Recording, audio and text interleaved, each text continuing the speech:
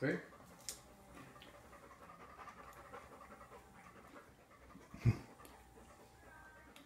What are you doing, Merle?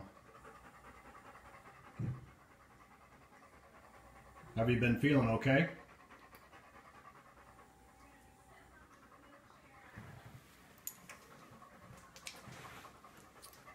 It's not.